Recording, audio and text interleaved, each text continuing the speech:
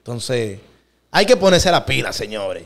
Hay Hay, que ponerse la pila. Hay que innovar. Usted sabe que estamos en la semana del merengue. ¿Qué es? El merengue, Merengue murió. que murió. Sí. Y Manicruz está haciendo merengue. ¿Eh? Y Manicruz está pegadísimo en el mundo entero haciendo merengue. ¿En qué, en qué mundo entero también pegado? Manicruz está sonando por todos lados, mi hermano. Merengue, y merengue. Qué rico es el merengue. Venga acá, mi hermano, pero usted está loco. Merengue murió. La semana del merengue, no hay merengue sin fiesta.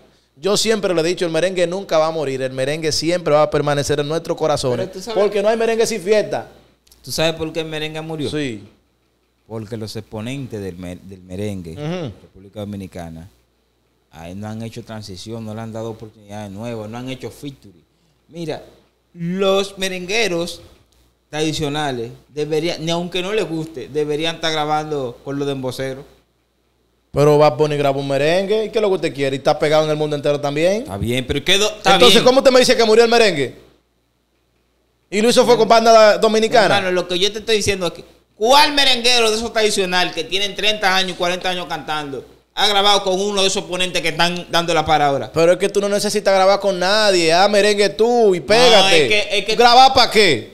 ¿Para subir un muerto de eso otra vez? No, es que no, No, es eso, es que tú no te- eh, Luis, cuando yo te estoy hablando a ti, es que en la música, y no solo en la música, nosotros como empresa, Sí.